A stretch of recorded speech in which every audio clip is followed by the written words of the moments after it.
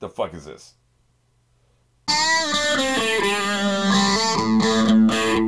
The best writing is when you can create scenarios that move the plot where you want it to go, but the scenarios feel organic, right?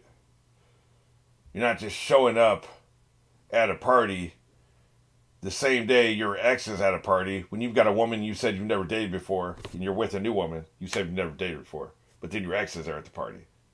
Like, and this is a party in the middle of the country. She lives on the West Coast, you live on the East Coast. You guys are both driving across the country in opposite directions. You happen to stop at the same party. Ridiculous, right? That's absolutely ridiculous. They would never. Uh, shows will do this. Movies will do this. They show up at the airport at the same time. You know how many fucking airports there are in the world, and like how many like time windows are. You could be you and me could be at the same airport on the same day in the same location, and miss each other by three hours, right? Just because the way it works. Ridiculous. The good writers start here. Okay, this is what we want. We want Jimmy to leave at the beginning. We want him to be back in Atlantic City by episode nine. But in the meantime, we want him to level up, get more confidence, start earning more money, start creating a network of badasses that he surrounds himself with, and showing doing things that show that he's he's a, he's a changed person. He leaves, he changes, he's going to come back a different person. We want all this to happen by episode nine. So how do we get him back? And have him still be salty and not be like, "Oh man, I miss Nucky. I love Nucky. Let me go back to it." Like you, that doesn't make much sense. So you make it so that Eli gets shot in episode eight, and that's what brings Jimmy back, right? But Eli gets shot because he gave another guy a day off because he's trying to show himself that he's as good as Nucky. See, A follows B, follows C, follows D. Like it's just Eli's ego, which has been established for episodes on on end feels insecure and inferior. So he's going to overcompensate and he's going to do things that are not smart, like just stop by with his wife and not have any guys with him or anything, you know, late at night for a money pickup. Overconfident, overcompensating. And then that's what brings Jimmy home. See, it's it's all like it, it, it serves the character. It shows us a lot about Eli. It makes sense. They've established Eli's like this you know, Nucky happens to be out of town because he, he happens to be in Chicago where Jimmy is, and that's where the convention probably was.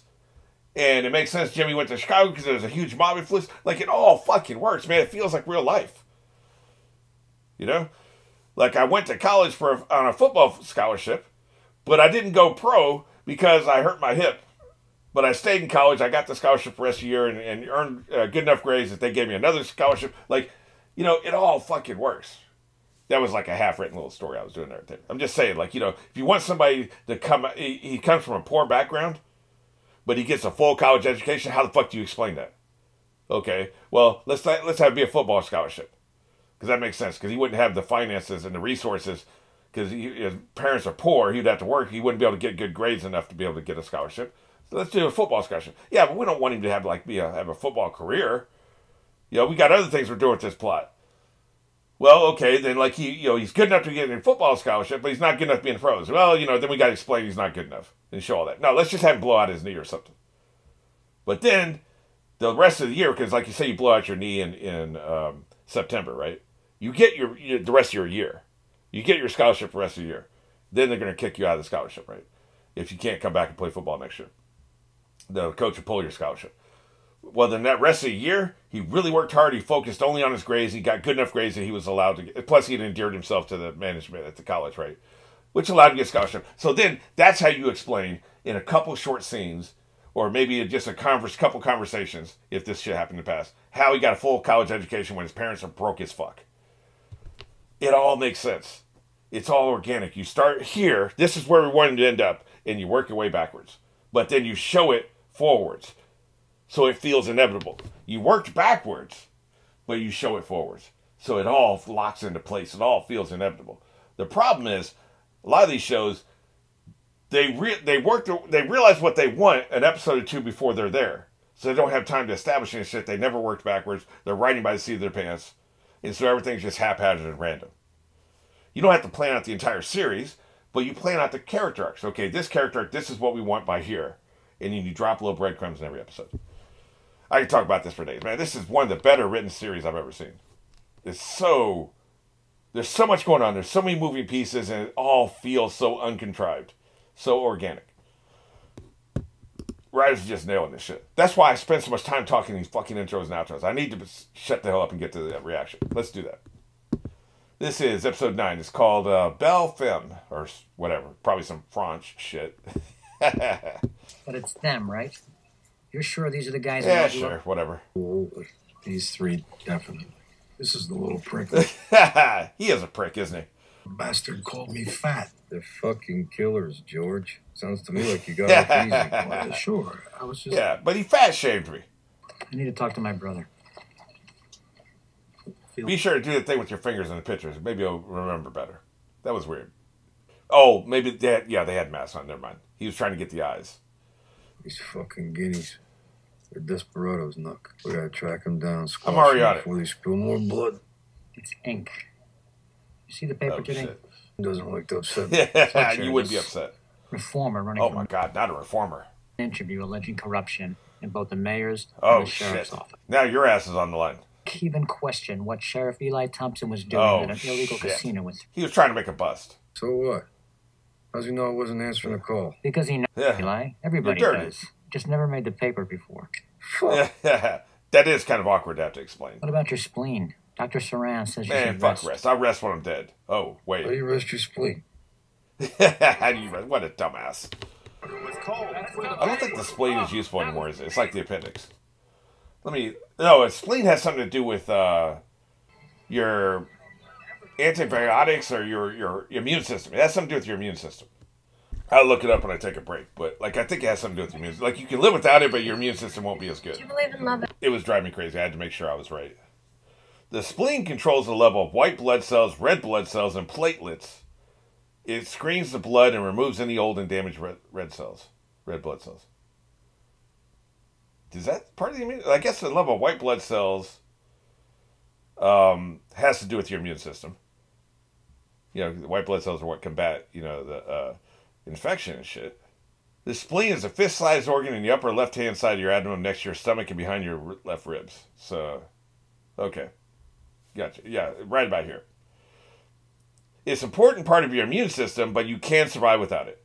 This is because the liver can take over many of the spleen's functions. Hey, man.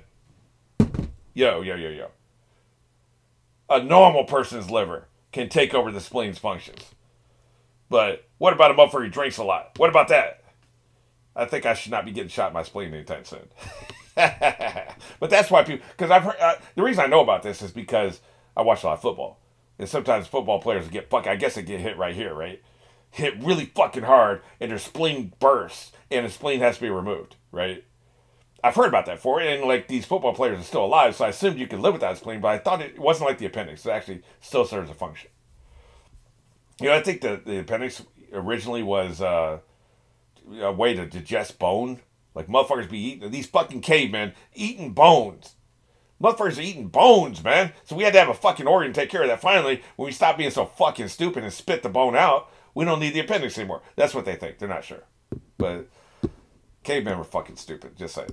When I first heard Harding, I thought it was him running for president. Dumbass. He loves me, I was just trying to make conversation. You're a one track mind. but America needs him. Oh, you're making him. You're making her sad. Look at her, man. She looks like she's ready to cry. So now you're gonna get your old shitty job. Nice. Good morning. Make this happen. Madam this is a friend of mine, Miss Nan Britton. She Nucky needs this to happen. the season. Oh, okay. I, I thought she was getting her job. Never mind. Marischka? Oh, this is your new girl, huh? Marischka! Oh, new girl's gonna suck, so she's gonna get a job. Excellent. See the mademoiselle to the Yeah, new girl sucks. huh? Get fire her ass. She's terrible. Car waiting to be what a miserable cut. This Polish girl. No grace. no racist as sharp. fuck too, by the way. Head like a cabbage. But she will work for pennies. Yeah, I take advantage of her. See what I am reduced to? yeah, she's not so bad now, is she? Slow, She was better. Oh shit! Twist the knife. My dear Marguerite. Blossom. you better kiss my ass now. Thompson is quite generous with his attention. Wow, that's right. As ladies, as he must be here. Yeah.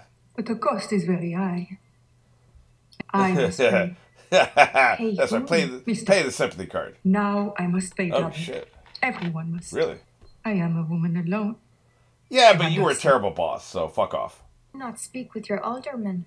You can speak for me. Okay, but you gonna wet my beak? I'll take that dress over there. I.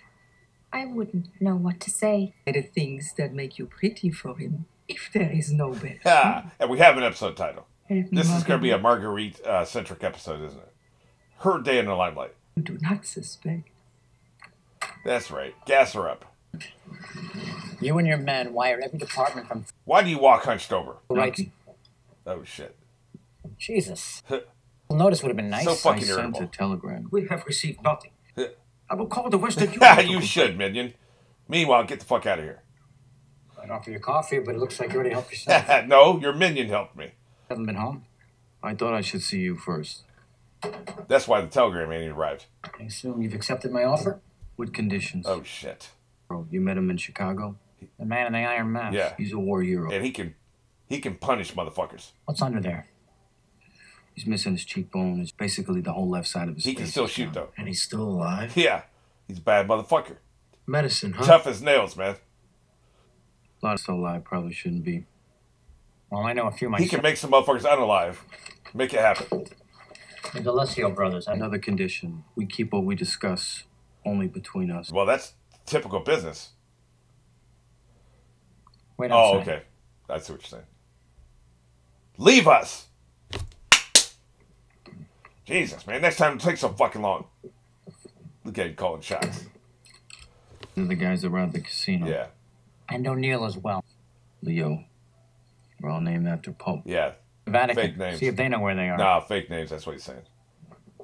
When I find them, Yeah. Dispense some justice. what do you want me to do? You need me to spell it out? you say it. Why? Yeah, what's up? I'm, I'm wearing a tape recorder. That's why. Politician to the last, huh? Grease them. That's what I want you to do. Or are you just trying to kid yourself? About what? Are you weak or not? That's what I want to know. That is what you want me to do, right? Ish. Killed him. I want you to grease him. even the kid. Hell yeah. Fuck it. He should have stayed home. Remember, my boy gets a paycheck too. I'm gonna go eat my steak. so much fucking t- uh, there. So much uh, up in your feelings. You know, we didn't see him get to say goodbye to Al. I thought that'd be a big deal, right? Like, you know, Al would be pissed off. He probably played the family card. That's my head headcanon. You know, Al, he, he's a big believer in family, so he's all about it, right? These are the fellas I told you about. It's Leo D'Alessio. You've heard of me. Naturally. Who ain't, huh? And what is it you've heard? Good stuff. You know, That I'm honest? I heard you're a pe- piece of shit, but you know. Oh, goddamn, understand you're motherfucker, he's pulling out the- huge fucking wads of money, man. Eight ball, five hundred dollars. Oh shit. Uh, two ways to make money in the alcohol business. One is to take cheap rot gut whiskey, dilute it, and sell. Yeah, but that sucks. but that myself. That's the stupid Yeah, yeah. in which I have no interest. So get out, dumbass. How about you let the guy finish next Growing time? demand for good whiskey in the United Yeah, that's what I want. Good whiskey. Talking about the swill you stirred up in your chamber pot. God damn. I, you know, I use a bathtub like everybody else. There's a fortune to be made from importing it. you just got to run the. Uh, It'll be the chic thing to have good whiskey when you have guests. you just got to run the blockade. That's all. Motherfucker's got I death to set up a business that. for importing notice scotch. close-ups every time they do trick shots, right? Put it outside the three mile limit.